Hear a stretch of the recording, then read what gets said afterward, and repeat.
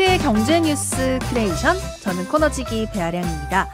어렵고 복잡한 경제 한 큐에 정리해 주실 김큐 안녕하세요. 네, 안녕하세요. 아 오늘 빠르게 좀 이야기 좀 해 봐야겠어요. 네네. 우리 지난주에 실리콘밸리 뱅크 SVB 파산 이야기를 했잖아요. 그렇습니다. 우리가 얼마나 타격을 줄까 이런 이야기도 했었는데 어, 지켜보니까 후폭풍이 생각했던 것보다 심상치 않은 것 같아요. 네.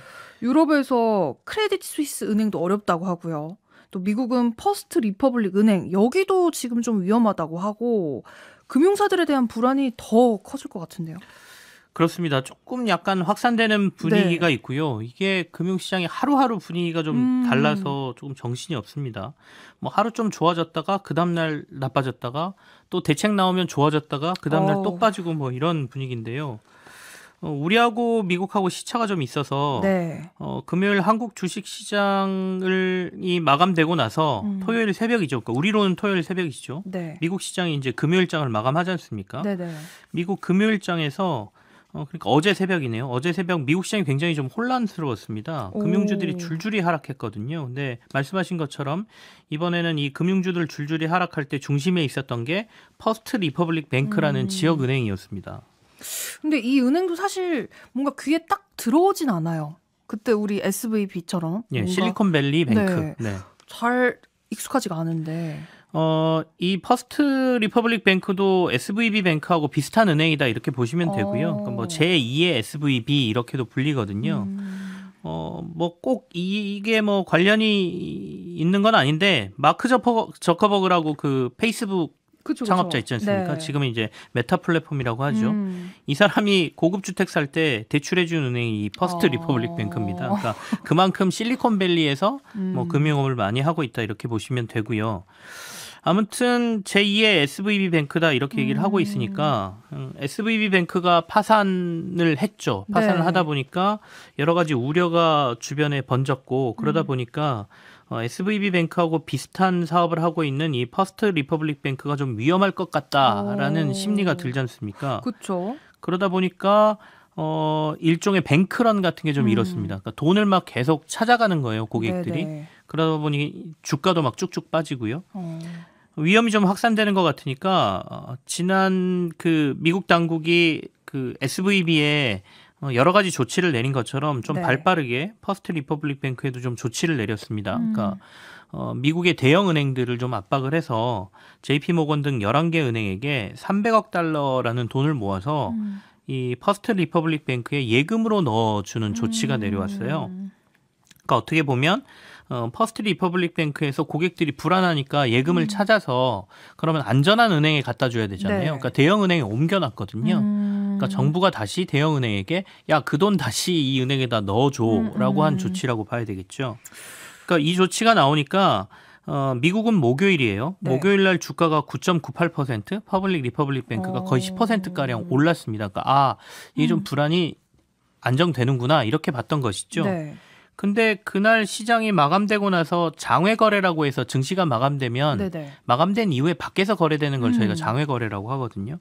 이 장외 거래에서 갑자기 또 퍼스트 리퍼블릭 뱅크가 32%나 빠지는 거예요. 오, 어, 이거 왜 이러지? 음. 라고 했는데 실제로 금요일 날 시장에서 주가가 막 급락한 거죠. 오. 근데 이제 시장에서 어떻게 봤냐면 그래 아까 말한 대로 한 300억 달러 정도 대형 은행들이 이 은행에 돈은 넣어줬지만 네. 이거는 예금으로 넣어준 거니까 음.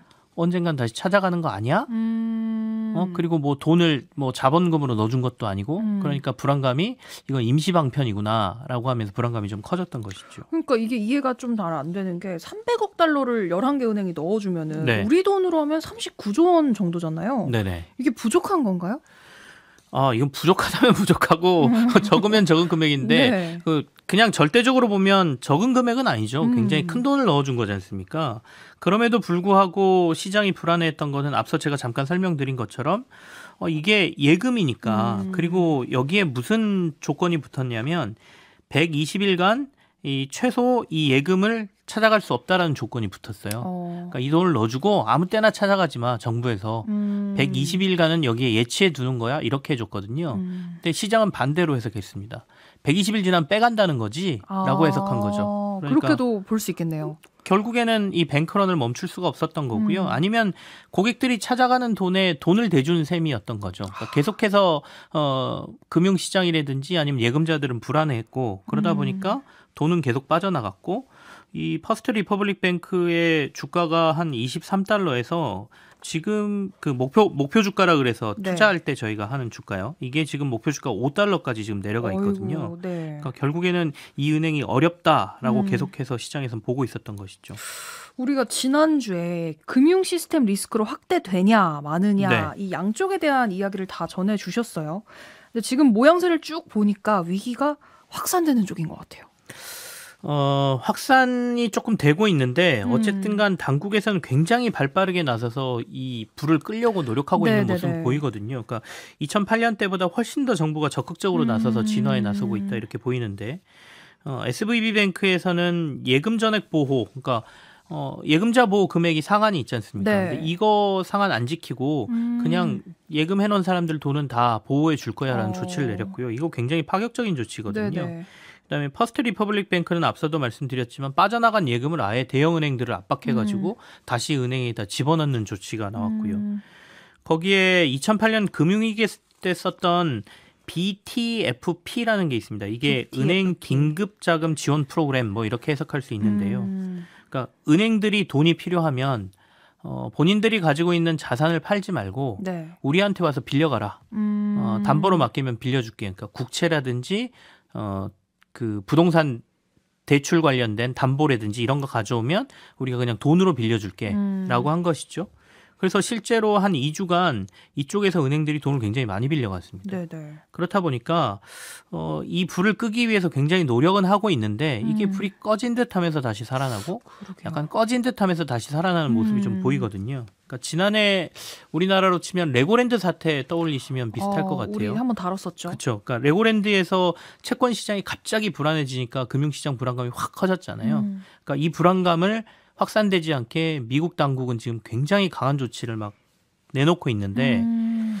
다만 이 미국의 불똥이 지금 유럽으로 튀었다는 게 조금 걱정이죠. 그러니까 아까 말씀하신 크레디트 스위스가 주가가 막 빠지고 흔들리는 모습이 나오고 있는 게 어. 어떻게 보면 글로벌 시장에서는 더 불안한 요소다 이렇게 볼 수 있습니다. 근데 이거는 좀 다르게 봐야 될 것 같은 게 스위스에서 두 번째로 큰 은행이더라고요. 네네. 그러면은 미국의 그 SVB하고는 완전 다른 문제 아닐까요? 더 심각한 거잖아요.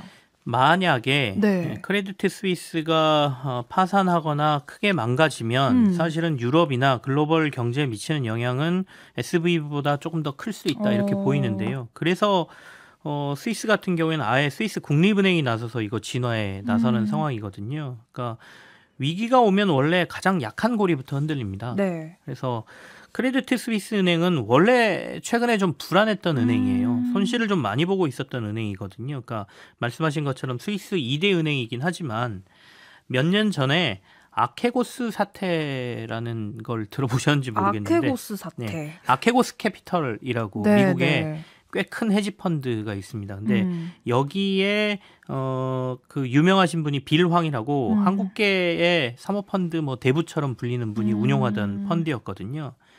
어, 굉장히 공격적인 투자를 하고요.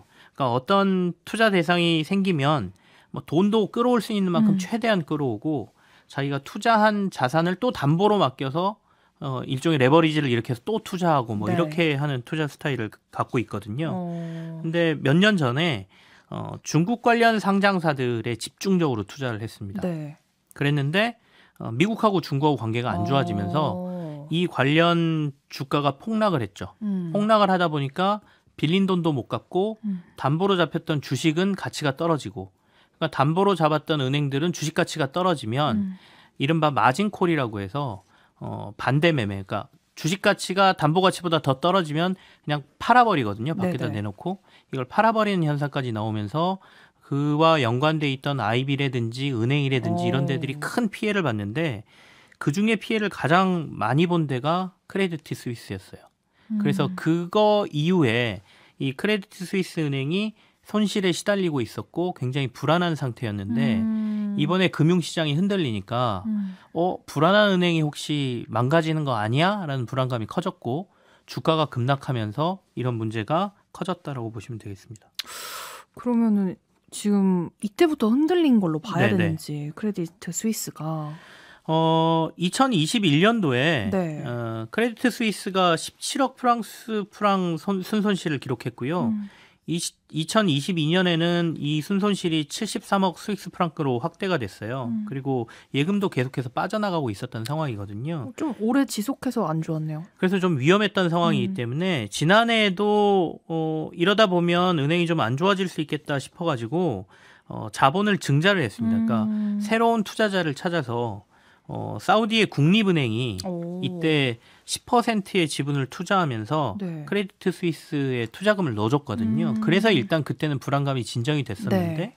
이번에 또 주가가 이렇게 빠지면서 어, 불안감이 커지니까 음. 어, 시장에서는 이거 또다시 증자하지 않으면 이 회사 힘들겠는데 라는 생각을 하게 된 것이죠. 음. 근데 사우디 국립은행이 지금 스위스 은행에 등장을 했단 말이죠. 네네. 결국에 스위스 중앙은행이 나섰다고 들었는데 이 사건에 대해서는 네네. 이거 한번 설명 좀 해주시죠. 지난해 이제 사우스 주, 아, 사우디 중앙은행이 네. 어, 10% 지분을 확보했다고 음. 말씀드렸잖아요. 그래서 최근에 이제 막 크레디트 주, 스위스의 주가가 막 빠지고 음. 예금이 빠져나간다 이런 뉴스가 나오니까 네. 사람들이 야 그러면 빨리 여기에 누군가가 투자해줘서 은행 어. 살려야 되는 거 아니야 이런 얘기가 나왔거든요. 그러면서 다들 이 사우디를 쳐다본 거죠. 작년에도 어려울 때 사우디가 도와줬으니까 음. 이번에도 사우디가 도와주지 않겠어? 네. 라고 쳐다봤더니 사우디 국립은행에서 이렇게 얘기했어요. 스위스는 외국인들의 투자를 굉장히 제한해 놓고 있거든요. 특히 음. 은행 같은 경우에는 그렇습니다. 그래서 네네네. 10% 이상의 지분을 은행은 외국인이 가질 수가 없어요. 네. 그렇다 보니 이미 지난해 우리는 10% 지분을 확보했지 않습니까? 어. 그러니까 규정상 우리는 더 이상 스위스 크레디트에 돈을 집어넣을 수가 없어요라고 음, 발표를 해버리니까 시장에선 더 주가가 폭락한 거죠. 음. 그러다 보니까 이제 어, 스위스 국립은행이 나, 안 나설 수가 없는 상황이 벌어진 그러네요. 거죠. 어, 우리나라로 치면 뭐 KB 국민은행하고 음. 신한지주가 있는데 신한지주 흔들리는 음. 상황에서 어, 잘못하면 큰 문제가 생기지 않습니까? 네. 그러다 보니까 이제 스위스 중앙은행이 50억 스위스 프랑, 우리 돈으로 70조 원이 넘는 돈을 와. 여기에 집어넣고 네. 이 은행을 살리겠다. 음. 이렇게 얘기를 했고요. 그리고 매각까지도 추진하겠다 뭐 이런 얘기 같이 나오면서 음. 어쨌든 간 큰 위험을 빨리 벗어나게 하려는 조치들이 막 쏟아지고 있다 이렇게 봐야 될 것 같습니다. 음. 저도 오늘 UBS 그룹이 크레디트 스위스 인수하기 위한 합의가 임박했다 뭐 이런 뉴스를 지나가면서 봤거든요. 이거는 좀 어떻게 될 거라고 보시나요? 어, 실제로 지금 아마도 외신에 들어온 내용을 종합해 보면 음. UBS가 크레디트 스위스를 인수할 것 같습니다. 만약에 인수를 하게 되면 사실은 이 두 은행이 사이가 굉장히 안 좋아요. 오. 네네. 1, 2위를 다투는 은행이고 음. 서로 그 거의 견원지간처럼 지냈던 곳인데 어, 세계적으로 굉장히 큰 은행이 탄생할 수 있는 상황이 생기는 거고요. 다만 UBS가 인수하려고 하는 것은 크레디트 스위스의 자산 관리 부문, 그러니까 음. 부자들을 대상으로 스위스 은행들이 굉장히 영업 잘한다고 하잖아요. 네. 그래서 굉장히 잘하고 있는 부분만 음. UBS가 인수하겠다 이렇게 얘기를 하고 있고 아까 손실을 많이 봤다고 한 투자은행 부분은 네. 블랙록이 인수해 갈 가능성이 있다라는 얘기가 나오는데 음. 다만 이걸 인수하려고 하면 어, UBS도 그렇고 여러 가지 조건을 지금 내걸고 있습니다. 음. 만약에 우리가 얘를 인수할 때 드는 비용도 정부에서 내주라. 음. 그리고 인수하고 난 다음에 어, 여러 가지 법적인 문제가 생기면 이 부분도 우리는 책임지지 않겠다. 음. 그러니까 지금 이 위험을 우리가 감수해서 어떻게 보면 부실한 은행을 사주는 거니까 음. 이런 혜택을 주지 않으면 인수하지 않겠다 이렇게 얘기를 하고 있고요. 어, 보통 스위스에서는 은행 인수하는데 6주간의 기간이 꼭 필요하다고 하거든요. 네. 근데 정부에서는 이 6주간의 기간도 지키지 않아도 된다. 음. 최대한 빨리 인수해라 이렇게 하고 있기 때문에 아마도 내일 우리 시장 말고 미국 시장이 월요일장 열리기 전까지 네. 어, 인수가 마무리되는 뉴스가 나올 가능성이 높다. 음. 빨리 진화를 해야 되기 때문에 그래서 음. 스위스 쪽에서 UBS가 크레디트 스위스 인수할 가능성은 굉장히 높다 이렇게 보여집니다. 인수 이야기 나와서 그런데 지금 미국의 퍼스트 시티즌스 뱅크셰어스 이렇게 두 곳이 네. SVB를 인수 검토 중이다. 이 뉴스도 있거든요. 미국과 유럽 은행권 위기가 중대 변곡점을 맞이했다. 이 분석은 어떻게 좀 우리가 봐야 될까요? 음, 일단은 인수자를 찾고 있는 건 맞습니다. 음. 그러니까 SVB 뱅크든 뭐 SVB 뱅크의 모기업도 지금 파산에 들어가 있는 상태이기 때문에 네. 어 근데 다만 인수가 가능할지는 좀 지켜봐야 될 것 같습니다. 어. 어쨌든 정부에서는 이런 자산들을 우리가 보호하고 있다가 어딘가 인수해 주는 게 좋거든요. 음. 아니면 부실 자산을 정부도 떠안는 거기 때문에. 네. 근데 어 여- 말씀하신 퍼스트 시티즌 뱅크나 뭐 이런 곳들에서 인수를 한다 음. 하더라도 이 위험성이 꺼지느냐는 시장에서 좀 봐야 될 것 같고요. 음. 실제로 이들이 인수할지는 조금 의문이기도 하고 워낙 금융시장이 불안하다 보니까 음. 그래서 인수 여부는 좀 지켜봐야 될 것 같고요. 음, 다만 변곡점이라고 하는 거는 어, 지금 금융시장의 불안감이 이렇게 커졌을 때 이게 불이 꺼지지 않으면 음. 더큰 불안감으로 이어지기 때문에 이 네. 불을 빨리 끄는 게 1번이다라고 보여집니다.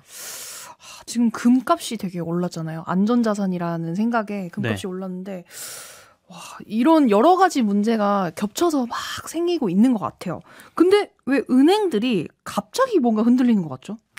어, 은행들은 네. 사실은 실제로 예금과 관련된 우리가 예금을 100만 원 했으면 이 음. 100만 원을 다 은행에 넣는 넣어놓는 게 아니거든요. 네. 그러니까 자기 자본금을 한 15% 정도만 가지고 있으면 음. 나머지는 예금자로 받은 돈을 다 대출이나 다른 상품으로 돌릴 수가 있습니다. 그래서 음. 이렇게 불안한 시기가 되면 사람들이 내 돈 돌려주세요라고 들어오게 되면 음. 이 100%를 돌려줄 수 없는 원래 구조를 가지고 있어서 이 불안감을 차단하지 않으면 모든 은행은 다 불안해질 수가 있어요. 음. 그래서 결국에는 이 특혜 산업이에요. 네. 은, 은행은 그러니까 레버리지를 일으켜서 뭔가를 할 수 있도록 정부에서 특혜를 내준 산업이기 때문에 은행들은 빨리 이 불안감을 차단하는 게 1순위고 음. 그다음에 이제 다음 주에 우리가 주목해야 될 거는 미국의 금리 인상 여부인데요. 네. 지금 미국이 미국 시간으로 수요일 날 FMC 회의에서 금리 인상 여부를 음. 놓고 결정을 해야 되는데 금융 시장이 너무 불안하기 때문에 어, 빅스텝으로 갈 거다라는 얘기는 이미 사라진 지 오래고요. 음. 0.25% 포인트 그것도 인상할 수 있느냐 없느냐를 놓고 시장에서 좀 보고 있는데 월화수 어떤 이벤트가 일어나느냐에 따라서 0.25% 포인트도 못 올릴 상황도 나올 수 있다 이렇게 오. 보고 있습니다. 다만 그래도 0.25% 포인트는 올릴 가능성이 높다는 게 현재 상황으로는 한 60% 정도 가능성을 점치고 있어요. 아, 혹시나 우리한테도 뭐 영향이 있진 않은지 긴장되네요. 아, 금융시장의 불안은 어차피 네. 전 세계가 연결돼 있기 때문에 조금 긴장해서 보셔야 될 상황인 거는 맞는 것 같아요. 네, 수요일 한번 지켜보도록 하겠습니다.